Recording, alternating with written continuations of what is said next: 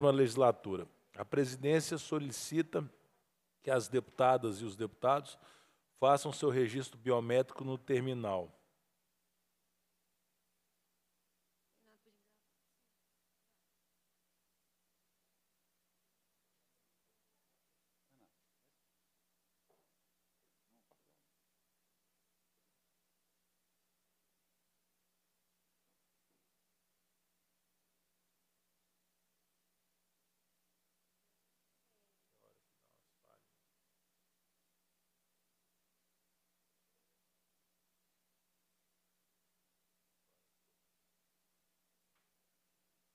A presidência, nos termos do parágrafo 1 do artigo 132 do Regimento Interno, dispensa a leitura da ata da reunião anterior, considera-a aprovada e solicita a sua subscrição. Finalidade da reunião: esta reunião se destina a receber, discutir e votar proposições da comissão. Passa-se a segunda fase da ordem do dia que compreende a discussão e a votação de proposições que dispensam a apreciação do plenário. Sobre a mesa, o parecer de redação final do projeto de lei número 4093 de 2022.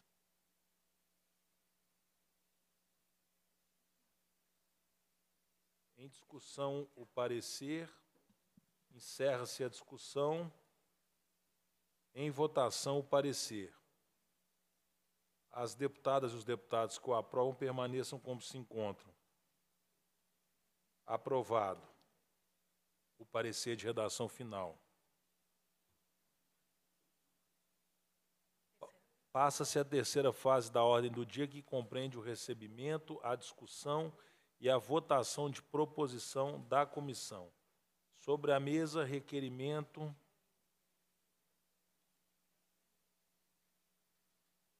do deputado Leleco Pimentel.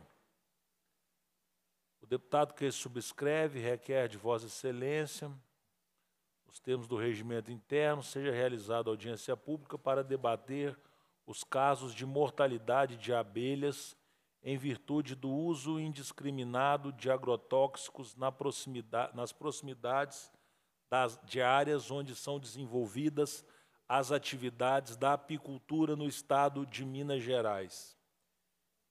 Em votação, o requerimento. Os deputados e os deputados que aprovam permaneçam como se encontram. Aprovado. Requerimento de autoria do deputado Coronel Henrique. Deputado que subscreve requer, nos termos do artigo 5 do regimento interno, do artigo 100 do Regimento Interno, seja realizada audiência pública para debater sobre a importância do consumo de leite e derivados como parte de uma alimentação saudável, bem como promover e incentivar o consumo de lácteos no Estado, por ocasião do Dia Mundial do Leite, comemorado em 1 de junho. Só quero encaminhar esse. Em votação, o requerimento. Para encaminhar, senhor presidente. Para encaminhar com a palavra o deputado Coronel Henrique. Senhor presidente, deputado Raul Belém, deputada Lúcia Falcão, esse requerimento, uma feliz coincidência, no dia 1 de junho, é a primeira quinta-feira do mês de junho, se comemora o Dia Internacional do Leite. E, pela, pelo convênio que o nosso presidente Tadeuzinho assinou com a Emater, toda primeira quinta-feira do mês, acontecerá aqui na Assembleia a Feira da Agricultura Familiar da Emater. Então, nesse dia 1 de junho, eu vou fazer um ofício ao presidente para que a feira dê preferência a produtos lácteos, leite, derivados, doce de leite, iogurte e etc. E nessa mesma data, eu solicito a possibilidade dessa audiência pública para que nós tenhamos a oportunidade de discutir nessa casa as vantagens e o incentivo do do consumo de lácteos. O deputado Raul Belém deve se lembrar que no primeiro ano do mandato, em visita a uma fazenda lá no Triângulo Mineiro, gravou um vídeo em apoio ao meu projeto de lei que tramita nessa casa, projeto de lei 1039 de 2019, da inclusão do leite na merenda escolar. E qual não foi minha surpresa quando, na tramitação desse projeto, nós já temos uma lei estadual que obriga o leite na merenda escolar. Mas a Secretaria de Educação me respondeu que tem leite. Tem leite no estrogonofe, tem leite no bolo. E eu falei: não, eu quero um consumo de leite fluido na merenda escolar. Então, eu fiz uma modificação nesse projeto de lei, uma emenda, para que esse projeto seja aperfeiçoado e que na merenda escolar de Minas Gerais nós tenhamos não só a disponibilidade de produtos lácteos, que são utilizados na confecção de outros alimentos, mas o leite fluido de bebida para as nossas crianças, incentivando é, não só a aquisição de produtos lácteos da agricultura familiar, mas principalmente fortalecendo a ideia da importância na nutrição das nossas crianças do leite como um produto completo, rico em minerais, vitaminas. Então, nessa audiência pública especificamente, nós pretendemos convidar especialistas para tratar nessa casa de forma a desmistificar as, as inverdades que hoje se, se divulgam sobre o consumo de leite. Então, eu, eu encaminho o voto sim para esse requerimento, para que tenhamos a oportunidade, inclusive, presidente, já solicitando de antecedência essa data do dia 1 de junho, para que possamos fazer, nesse dia, um grande dia do leite nessa casa. A Feira da Agricultura Familiar, com os produtos lácteos, e essa audiência pública para debater a importância do consumo de leite, em todas as idades, mas especialmente para as nossas crianças. Então, encaminho, sim para esse requerimento. Conte conosco, deputado Coronel Henrique, para podermos fazer essa audiência pública né, muito justa e merecida para debatermos um tema né, de um produto que é tão importante né, para todos nós e Minas Gerais, né, como maior produtor, né, nós precisamos também incentivar o consumo, conforme Vossa Excelência é, tem proposto através desse excelente projeto de lei, né, que nós esperamos poder aprová-lo o mais breve possível. Em votação, o requerimento. As deputadas e os deputados que aprovam permaneçam como se encontram. Aprovado. Passo a presidência ao deputado Coronel Henrique para apresentação de requerimentos de minha autoria.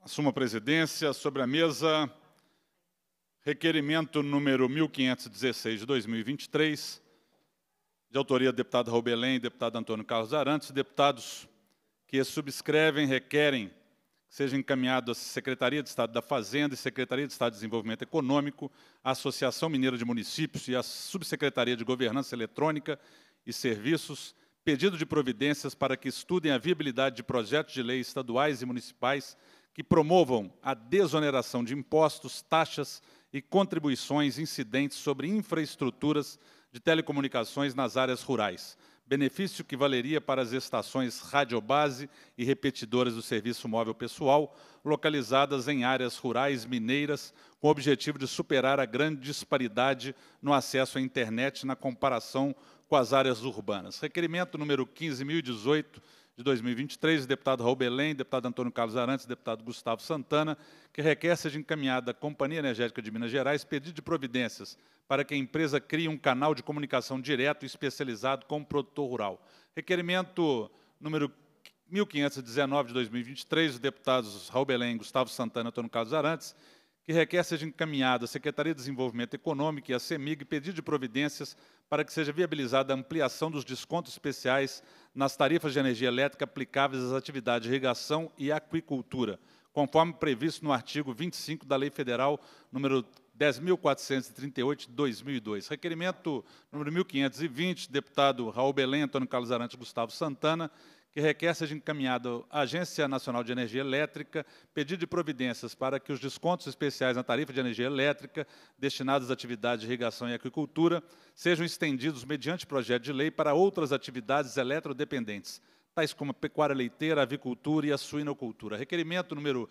1521 de 2023, o deputado Raul Belém, Antônio Carlos Arantes e Gustavo Santana, que requer seja encaminhado à CEAPA pedido de providências para que seja criada uma política pública de doação de geradores de energia elétrica a diesel para pequenos produtores rurais, considerando a existência de um grande déficit de fornecimento de energia elétrica pela rede em várias áreas rurais do Estado. Requerimento número 1522 de 2023, deputados Raul Belém, Antônio Carlos Arantes e Gustavo Santana, requer seja encaminhado ao BDMG pedido de providências para que seja criada uma linha de crédito para aquisição por produtores rurais de geradores de energia elétrica e adígio. Requerimento número 1523 de 2023, deputados Raul Belém, Antônio Carlos Arantes e Gustavo Santana, requer seja encaminhado ao DR pedido de providências para que sejam viabilizadas obras de manutenção e pavimentação da rodovia MG 2 427 em Conceição dos Alagoas, bem como dos recursos para intervenções urgentes nas estradas vicinais do município. Requerimento 1524 de 2023, os deputados Raul Belém, Antônio Carlos Arantes e Gustavo Santana, requer seja encaminhado ao DR pedido de providência para que sejam viabilizadas obras de manutenção e pavimentação da rodovia entre os municípios de Capitão Enéas e São João da Ponte. Requerimento 1525 de 2023, deputados Raul Belém, Gustavo Santana, Antônio Carlos Arantes, pedido de providências ao reitor da Universidade Estadual de Montes Claros, com pedido de informações referentes ao procedimento adotado pela universidade para contratação e elaboração de laudos antropológicos destinados ao reconhecimento de comunidades quilombolas, ribeirinhos e demais povos e comunidades tradicionais com a garantia dos respectivos direitos territoriais. Requerimento número 1526 de 2023, deputados Raul Belém, Antônio Carlos Arantes Gustavo Santana, que requer seja encaminhado à SEMAD e ao IEF pedido de providências para que eventuais restrições ambientais em áreas de amortecimento de unidades de conservação sejam informadas e ajustadas com os produtores rurais afetados, evitando-se a aplicação de multas e que sua implementação se dê exclusivamente após a regularização fundiária das referidas unidades de conservação. Requerimento 1527-2023, deputado Raul Belém, Antônio Carlos Arantes Gustavo Santana, requer seja encaminhado a Polícia Militar do Estado de Minas Gerais pedido de providências para que seus agentes dedicados à fiscalização ambiental rural sejam, estejam atentos simultaneamente aos crimes ou infrações ambientais, aos eventuais indícios e denúncias de crime contra o patrimônio nas propriedades visitadas. Requerimento 1528-2023, deputados Raul Belém, Antônio Carlos Arantes e Gustavo Santana, requer seja encaminhado ao Ministério dos Transportes e à Agência Nacional dos Transportes Terrestres pedido de providências para que seja viabilizada, no âmbito da renovação da concessão da ferrovia Centro-Atlântica, a ligação ferroviária de Pirapora a Unaí, com 308 quilômetros de extensão, que conectará o agronegócio do Noroeste Mineiro à Estrada de Ferro Vitória, Minas, e ao Porto do Açu, localizada no município de São João da Barra, no Rio de Janeiro. Requerimento 1529 de 2023, deputado Robelém Antônio Carlos Arantes, que requer seja encaminhado à Governadoria do Estado de Minas Gerais pedido de providência para que seja dada celeridade na execução de ordens judiciais de reintegração de posse que tenham por objeto áreas rurais, a exemplo do depoimento da senhora Cristiana Peixoto, de salto da divisa, conforme notas taquigráficas em anexo. Requer ainda que seja encaminhado ao referido órgão as notas taquigráficas da segunda reunião especial desta comissão, que teve por finalidade debater os desafios e as demandas do agronegócio em Minas Gerais e buscar alternativas para a melhoria do ambiente de negócio nas cadeias produtivas da agropecuária para conhecimento. Requerimento 1530, deputado Albelém, Antônio Carlos Arantes Gustavo Santana, requer seja encaminhado ao DR pedido de providências para que seja estudada a possibilidade do Estado adotar o modelo de obras rodoviárias em parceria com os municípios, que frequentemente conseguem realizar as intervenções com um custo mais baixo que o custo padrão do DR. Requerimento 1531 de 2023, deputados Raul Belém, Antônio Casanante e Gustavo Santana, requer seja encaminhado à CEINFRA pedido de providências para que seja agilizada a pavimentação da ligação entre os municípios de Cabeceira Grande, a BR-251, trecho de 34 quilômetros. Requerimento 1532 de 2023, deputados Raul Belém, Antônio Casanante e Gustavo Santana, requer seja encaminhado à CEINFRA pedido de providência para que seja implementada a política pública de apoio às administrações municipais para melhoria e manutenção de estradas sob gestão, tanto nos aspectos repasses financeiros para essa finalidade, quanto nos aspectos de projetos e engenharia. Requerimento 1533 de 2023, deputados Raul Belém, Antônio Carlos Arantes e Gustavo Santana, requer seja encaminhado a CEINFRA pedido de providências para que seja dada celeridade e atenção necessária à obra de pavimentação do trecho mineiro de cerca de 35 quilômetros da estrada que liga BR-251 à BR-040, Unaí Cristalina, em Goiás, vital para o desenvolvimento do agronegócio na região. E, por fim, requerimento 1534 de 2023, dos deputados Antônio Carlos Arantes e Raul Belém, que requer, nos termos do regimento interno, seja realizada audiência pública para debater os avanços na utilização dos biofertilizantes e os desafios em Minas Gerais para sua popularização. E ainda, requerimento do deputado Raul Belém, que requer seja, seja realizada visita ao Centro de Apoio Operacional do Meio Ambiente, CAOMA, do Ministério Público de Minas Gerais, do município de Belo Horizonte, para discutir em conjunto com representantes do setor agropecuário a regularização relativa à segurança dos reservatórios off-stream, piscinões necessários à reservação de água para irrigação de cultura no período da seca. Coloco em votação os requerimentos. Para encaminhar, conjunto. presidente. Pois não, com a palavra, deputado Raul Belém. É, eu só queria encaminhar os as colegas e os colegas deputados. É, esses requerimentos eles se originaram do nosso debate público sobre os desafios do agronegócio, que foi um sucesso. Né? Nós ficamos mais de 10 horas debatendo é, questões extremamente relevantes para é, o desenvolvimento do agro no nosso Estado. Tivemos aqui a presença da FAENG, né, o presidente esteve todo o tempo conosco, o Antônio de Salvo. É, também tivemos presente aqui o secretário de Agricultura, o, o doutor Tales, que é, esteve com toda a sua equipe aqui nos dando suporte durante esse, esse debate.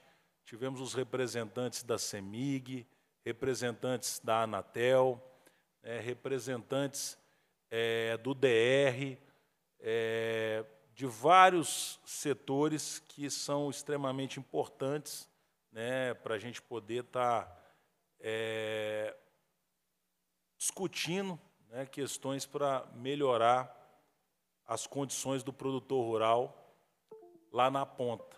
É, dominou bastante o, o tema a questão CEMIG, né, nós percebemos que existe uma dificuldade grande é, de interlocução da CEMIG, de resposta mais rápida é, para a demanda do produtor rural.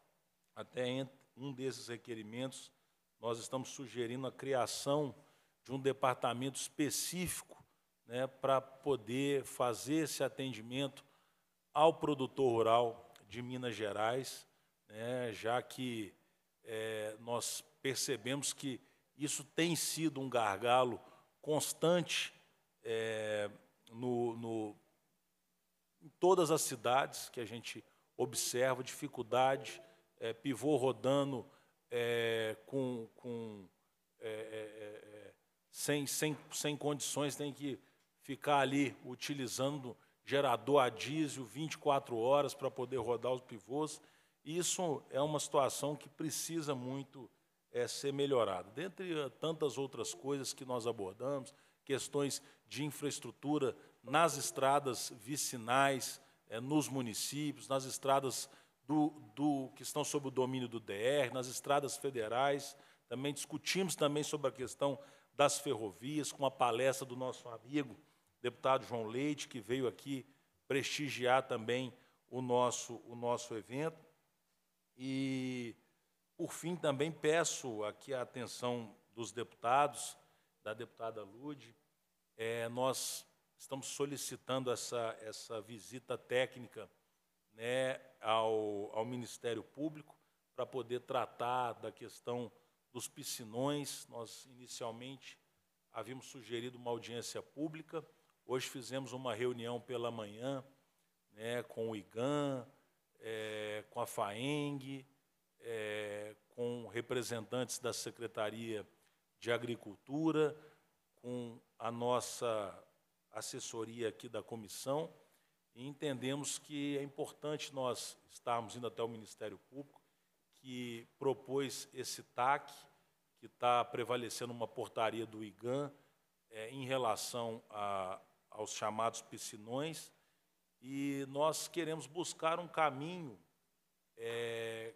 que traga né, a segurança desejada pelo Ministério Público e por todos nós, Claro, o produtor rural é muito responsável e quer fazer a sua atividade é, dentro da legalidade, dentro daquilo que é, é, é correto, né, da preocupação com a vida, da preocupação com o meio ambiente, mas nós precisamos né, de alguns ajustes importantes nesta questão para que nós, num curto tempo, não tenhamos dificuldades na questão de irrigação, especialmente na modalidade dos piscinões.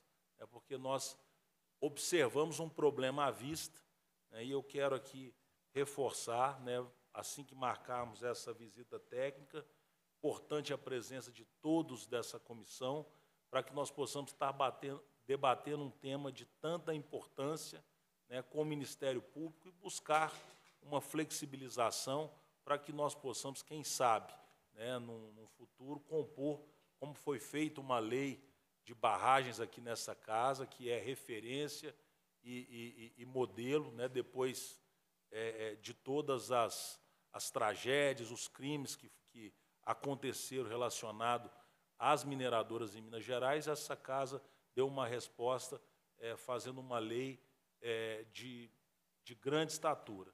Né? E nós, é, certamente, com, essa, com essas discussões, com essas, esses debates que estamos propondo, podemos chegar né, a um bom termo e buscarmos uma, uma solução aonde é, traga a segurança necessária, mas sem impedir o desenvolvimento e o progresso da agricultura, especialmente da agricultura irrigada nessa questão dos piscinões. Quero aqui também cumprimentar meu amigo, vereador Juninho da Lazinha de Santa Vitória, ex-secretário de Transporte. Um abraço ao povo de Santa Vitória, é um prazer recebê-lo aqui na nossa comissão. Muito obrigado, presidente. Obrigado, deputado Robelém. Votação em bloco os requerimentos. Deputados que o aprovam permaneçam como se encontram. Aprovados os requerimentos, devolvo a presidência ao deputado Robelém. Muito obrigado, deputado Coronel Henrique. Indago às deputadas e aos deputados se há alguma matéria a ser apresentada nesta fase.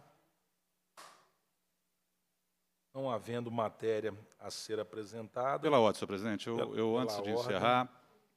Passo a palavra ao deputado Coronel Henrique. Eu não poderia deixar de fazer um registro por uma feliz coincidência.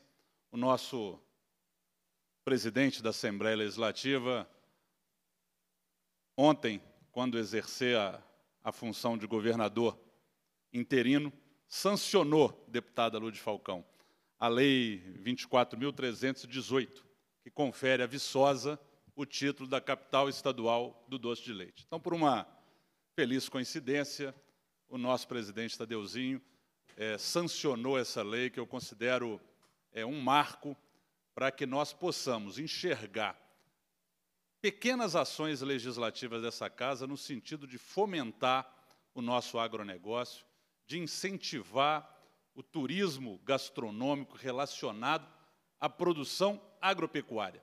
Nós falamos muito da cozinha mineira, mas não existiria cozinha mineira se não existisse o agronegócio mineiro. Não existiriam os nossos pratos tradicionais se o nosso produtor rural, 365 dia, dias por ano, faça chuva, faça sol, está produzindo alimentos em quantidade e qualidade suficiente para a nossa população.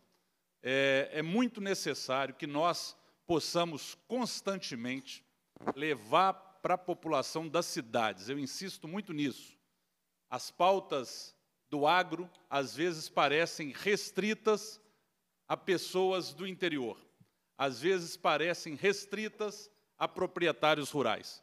Mas as pautas da nossa agropecuária e agroindústria interessam a toda a população. É quando a pessoa acorda pela manhã, vai tomar seu café, ali está o nosso produtor rural trabalhando de forma anônima. Então, quando nós defendemos essa pauta, presidente Raul Belém, nós estamos defendendo o Brasil. Nós estamos defendendo uma riqueza e um valor nacional. Eu digo que essa pauta ela é tão importante nesse momento, nesse momento de mudanças no Brasil, de uma desestruturação econômica, de ameaças, nós temos que entender que o nosso produtor rural sempre foi o nosso sustentáculo da balança comercial e assim continuará sendo. E se hoje nós temos aí uma perspectiva de uma safra recorde em 2023, foi porque essa safra foi plantada em 2022. Então, quem plantou no governo passado, no, no, governo do presidente Jair Bolsonaro, da ministra Tereza Cristina, vai colher nesse ano de 2023. O que nós temos que trabalhar constantemente é para que essa, essa potência do agro não diminua nos próximos anos, porque os resultados são sempre no ano seguinte. E essa nossa pauta, deputado Raul Belém, deputada Lúcia Falcão, hoje nós recebemos aqui no Salão Nobre da Assembleia o nosso general Braga Neto, foi candidato a vice-presidente da República pelo nosso partido, Partido Liberal. Hoje o general Braga Neto ocupa um cargo de responsável pelas relações institucionais do Partido Liberal. E hoje pela manhã nós nos reunimos e ele colocou como as estratégias e as pautas do Partido Liberal. E entre essas pautas está lá, de forma muito objetiva e muito clara, que é a defesa do nosso agronegócio. E quando falo de agronegócio, reitero, nós não podemos dividir o nosso produtor rural. Todos são produtores rurais. Nós não temos que dividir o pequeno, do médio e do grande, porque todos eles cultivam a mesma terra, sofrem as agruras do mesmo céu, faça sol, sol ou faça chuva. Todos prescindem de assistência técnica. Lógico que o bom senso indica de que nós temos que distribuir a nossa atenção de forma equânime para aqueles que precisam mais, mais atenção. Para isso que nós temos em Minas Gerais a nossa Emater, presente em mais de 800 municípios, para isso que nós temos que ter um cuidado todo especial da nossa FAENG, dos nossos sindicatos rurais, para aquele produtor rural, aquele mais humilde, tenha acesso aos serviços do Estado, tenha acesso à assistência técnica de qualidade, para que a gente permita que aqueles vocacionados, aqueles produtores rurais que desejam ser produtores rurais, inclusive tenham a sua terra regular para ser explorada. Nós sabemos a importância dos programas de regularização fundiária, que o nosso governador Romeu Zema está dando prioridade dentro da nossa Secretaria de Estado de Agricultura, Pecuária e Abastecimento, seguindo o exemplo da nossa ministra Tereza Cristina, que entregou, junto com o presidente Jair Bolsonaro, mais de 440 mil títulos de regularização fundiária. E de uma forma muito estratégia, deputada Lúcia Falcão. Esses títulos eram entregues na mão das mulheres. Eram entregues para as mulheres, que são aquelas que têm a sensibilidade e que cuidam da família. Quando falamos de agronegócio, quando falamos de produtor rural, estamos também falando da família, que é uma das pautas do nosso Partido Liberal, enxergando que nós não podemos retroceder. As conquistas dos últimos quatro anos, em que nós resgatamos o respeito ao Brasil, o respeito à nossa bandeira do Brasil, que constantemente, quando passamos pelas propriedades rurais, é muito comum.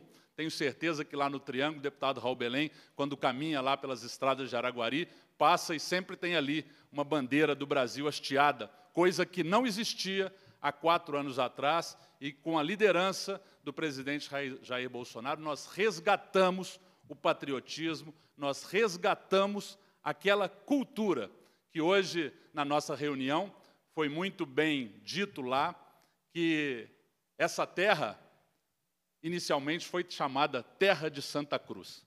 Quando chegaram aqui, colocaram aqui uma cruz, e essa terra, hoje, resgata os valores da religião, de Deus, e nós não podemos, mais uma vez insisto, retroceder, e seremos defensores ferrenhos desses princípios, de Deus, pátria, família e liberdade. E a nossa agropecuária está completamente entrelaçada nesses princípios. E tenho muita honra, deputada Raul Belém, de integrar essa comissão da agropecuária e agroindústria, que será sempre, será sempre a casa do nosso produtor rural, na defesa de tantos requerimentos que Vossa Excelência produziu no nosso debate do agronegócio, e não pararemos de trabalhar nem um dia sequer. O produtor rural precisa se sentir respeitado. Se hoje ele sofre ameaças do governo federal, será diferente em Minas Gerais. Governador Romeu Zema e a Assembleia Legislativa do Estado de Minas Gerais será a trincheira, evitando que essas ameaças, de alguma forma, coloquem o nosso produtor com a alma em, em espanto, como disse aqui o nosso presidente da FAENG, nós estaremos aqui para ser o porto seguro do nosso produtor rural no estado de Minas Gerais. Muito obrigado, muita honra de fazer parte dessa comissão de agropecuária e agroindústria. Devolvo a palavra. Muito obrigado, deputado Coronel Henrique. É, a honra é toda nossa, né, deputada Lud? Com certeza. De poder fazer parte de uma comissão ao lado de Vossa Excelência, que, é, além de ser um conhecedor profundo do tema, né, é um guerreiro aí que luta muito né, pelo nosso povo mineiro, pelo nosso produtor rural, e nós, com certeza, é, estaremos aqui ao seu lado e unidos, né, ao lado da deputada Lúcia Falcão também, que é uma honra é, estar com você, deputada Lude, aqui na, na nossa comissão, assim como a deputada Marli Ribeiro e o deputado doutor Maurício também, né, e vamos continuar esse trabalho aí, focado aí na, na melhoria para o nosso produtor rural e para o nosso agronegócio mineiro. É, Cumprida a finalidade da reunião, a presidência agradece a presença dos parlamentares, convoca os membros para a próxima reunião ordinária, determina a lavratura da ata e encerra os trabalhos.